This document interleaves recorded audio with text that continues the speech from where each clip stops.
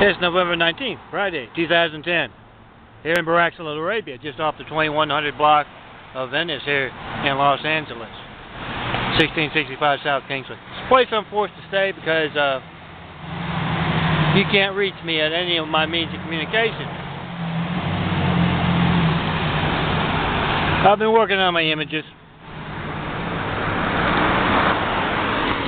But remember guys, every day I'm here, not doing the work I'm supposed to be doing, comes from the very top.